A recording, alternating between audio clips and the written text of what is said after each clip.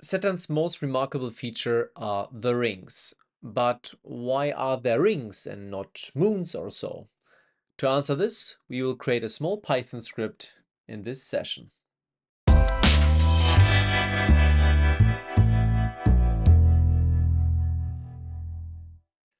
Hey everybody, it's nice to see you all back. Thomas here from my channel Astroniz and today we are having a small video here in my series Compressed Cosmos. New ideas for new Compressed Cosmos series and also new ideas for the Universe Sandbox. And this video is something I would like to combine with the Universe Sandbox series.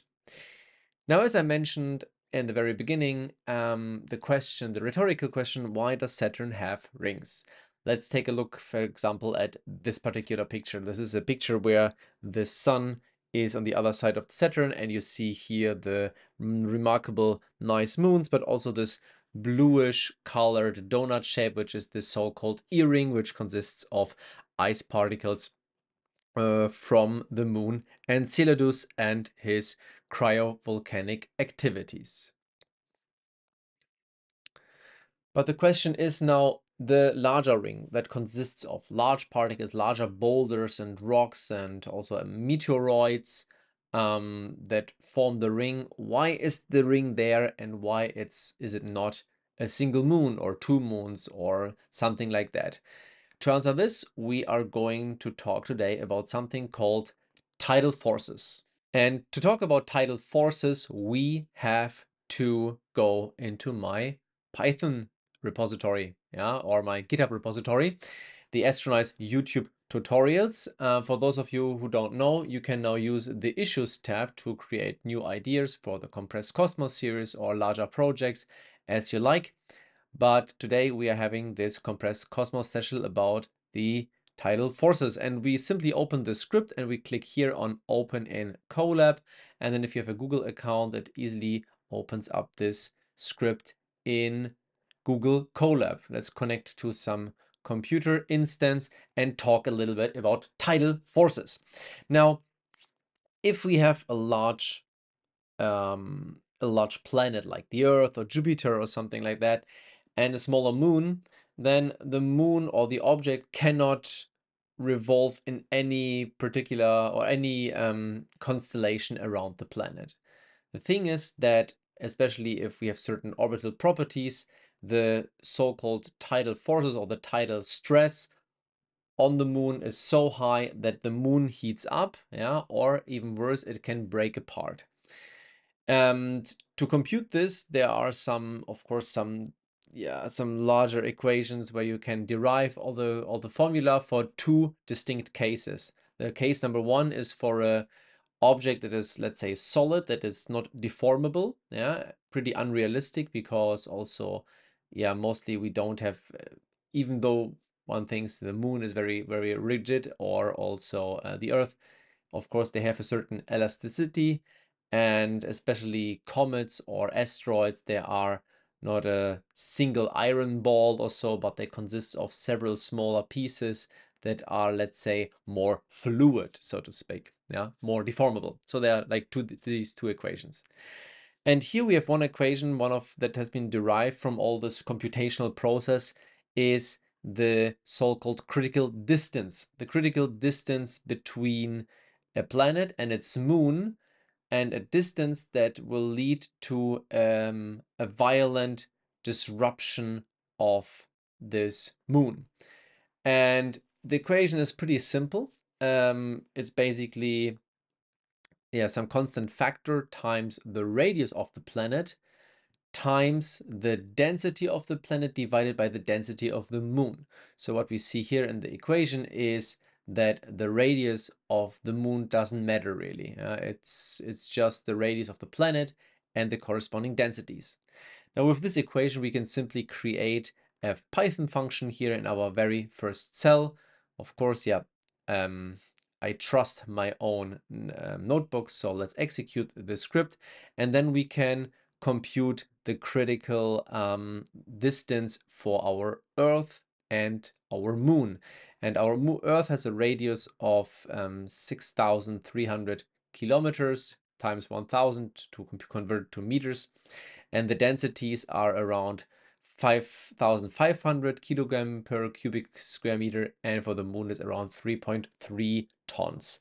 So these are like average values. Of course, the density varies depending whether you're in the core or the mantle or so, but yeah, it's the average value. And we can simply put it into our functions, compute it, and then compute the radius, not the radius, but the critical um, distance between moon and earth for our system. And this is like around 19,000 kilometers. So this is pretty far away considering that our um, moon is 300,000 kilometers away and its radius is almost 2,000 kilometers. So even not with the radius, considering the radius, it reaches this uh, distance. Um, you may ask though, wait, the International Space Station and other things, they are also orbiting. Why are not they breaking apart? Well, these tidal forces, they apply best to objects that are held together by a gravitational pull. So like a moon, for example, the main force that holds the moon together is the gravity, it, it is, is, is its own gravity. The same thing applies also to larger asteroids or comets. Like the one remarkable comet, as I show you here in this picture, is Shoemaker-Levy 9 that was being um, pulled by Jupiter and then at some point it violently disrupt yeah disrupted was destroyed fragmented into pieces that then crashed into the planet.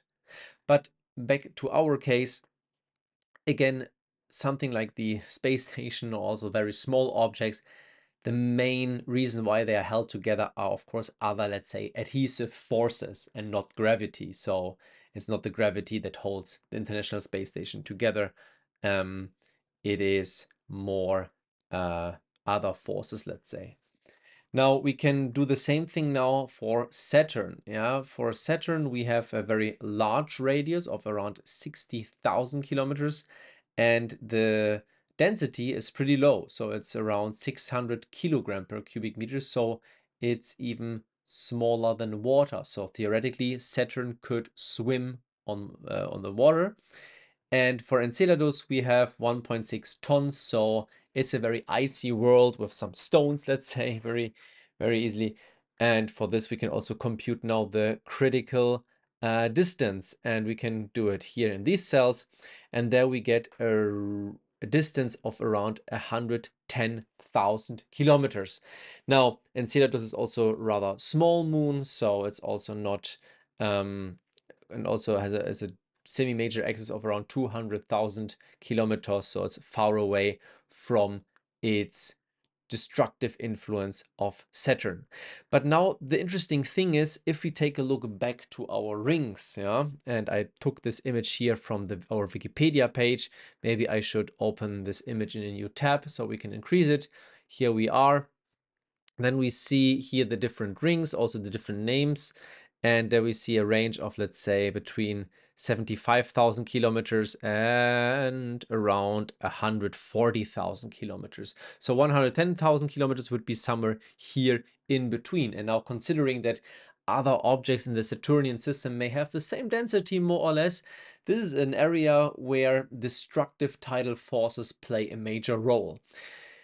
There are different theories where the rings come from there's like um, the idea that there were two moons that collided to, uh, that were that collided and um, caused this fragments and uh, with more fragmentation the rings were formed or um, an asteroid was catched or a comet was catched this was then also violently destructed by tidal forces. All in all one can say that a large moon with the density of Enceladus couldn't uh, couldn't shape and exist in um, in such a close proximity to Saturn. So this is a very likely scenario, one of the reasons, let's say, why no larger moon can form around this gas giant. So these are very easy and simple equations, but they imply a lot, like, for example, the Saturn thingy. And I think um, this is also pretty interesting and also maybe a very nice short video for the Compressed Cosmos series. In our next video, we will also go more into extragalactical stuff. In between, we'll have a look at Universe Sandbox, how we can simulate this. And until then, stay curious and hopefully you're also looking forward to the next video. Until next time.